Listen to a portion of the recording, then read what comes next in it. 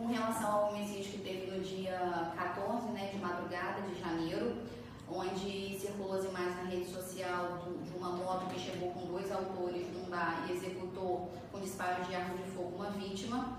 É, foi cumprida, foram cumpridos hoje mandados de prisão que descortinaram também em prisões em flagrante, auto de prisão em flagrante.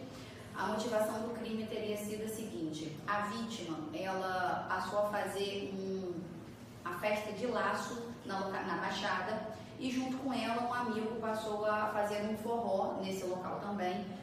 Começou a dar movimento, bastante gente passou a frequentar e os traficantes passaram a vender drogas nesse local. O dono, a vítima que é do, do laço e o dono do forró entrar, conversaram e decidiram que não, que eles não queriam venda de drogas no local. Então essa vítima chamou um traficante da localidade um deles, é, que foi, uma, foi preso em razão do mandado de prisão, e falou que não queria tráfico no local.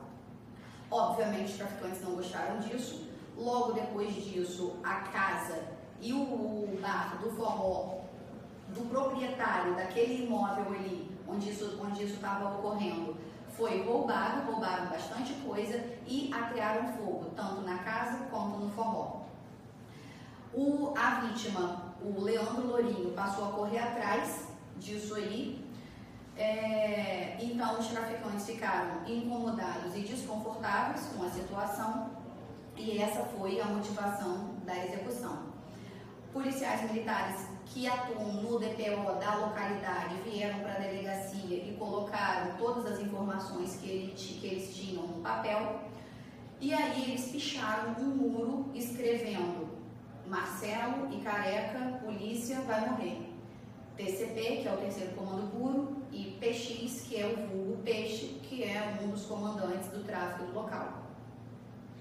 É, representamos pela prisão, indiciamos, juntamos todas as provas e hoje a gente fez o cumprimento onde, na casa do Marcos André, foi encontrado um revólver 38, três munições 9mm, duas de 38, esse carregador alongado de pistola 9mm e esse acessório que é utilizado para carregamento rápido de revólver, para troca rápida de munições. A munição acaba e rapidamente com esse acessório troca para continuar a efetuar os disparos.